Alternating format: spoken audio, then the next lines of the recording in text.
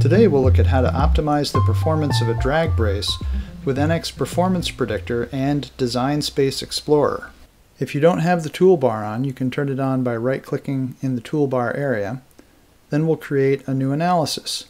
We'll begin by selecting the resolution for our analysis. Then we'll go into the Performance Predictor Navigator to see what we need to complete in order to get our results. And you can see we have insufficient data for our analysis constraints and loads. And also the default material that's selected is steel. And here we'd rather use aluminum for our design. So I'll make that change by going into our material library and finding our 6061 aluminum And here you can see that in the navigator. Next we'll assign a constraint.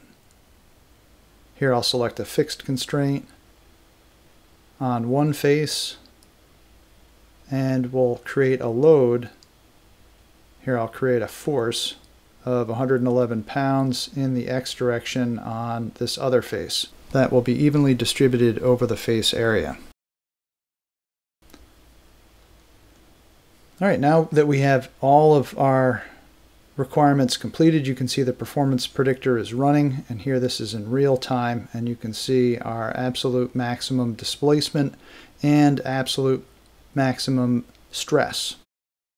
Here, if we don't like where the markers are coming out, we can drag those wherever we'd like.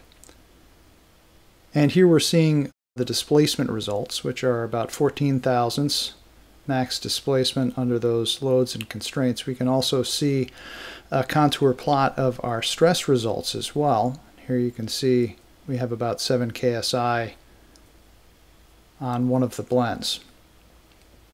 Let's go back to our displacement results and here we can also animate an exaggerated deflected view of our results.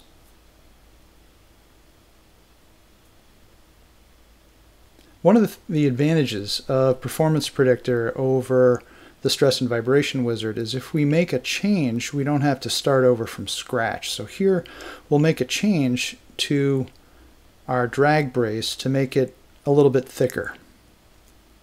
And I also want to include the pockets. Here we want to extend the pockets, so I'll select a few more faces to get the pockets to extend here as well.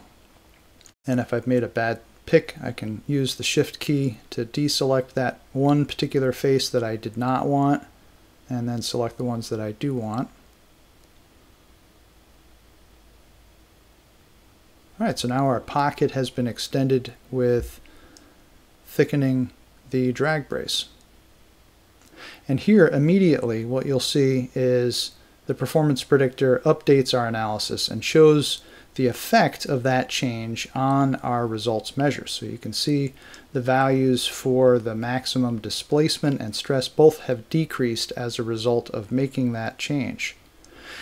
And here we can see it's at about 8 thousandths for our max displacement. let's say that we're okay if we go up to 10 thousandths of an inch, but we'd like to optimize the weight of the part for that particular performance requirement.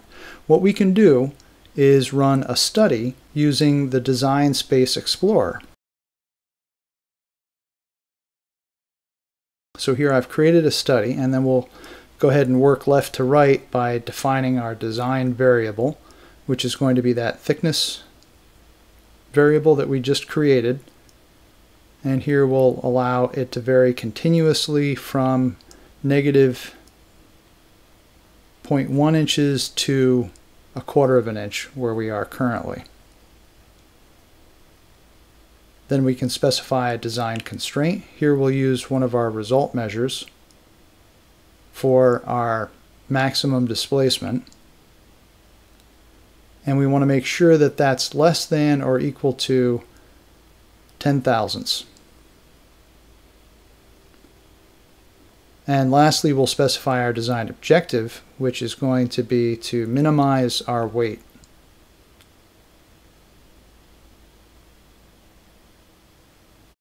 All right, now that we have that completely specified, we'll go ahead and run it. Here we can specify if we want to save just the best result or all of them. I'll say all of them and we'll run it through 10 iterations. And then we can also determine whether or not we want the display to update. And I've paused the video here while it ran and you can see the last iteration. That last iteration may not be the optimal. So if we go to the results, here you can see all of the iterations, infeasible in yellow, feasible in white, and the best in green.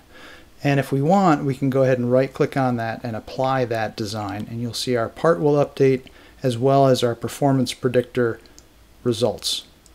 So here you can see now our maximum, our maximum displacement is below our 10 thousandths and we've optimized our design.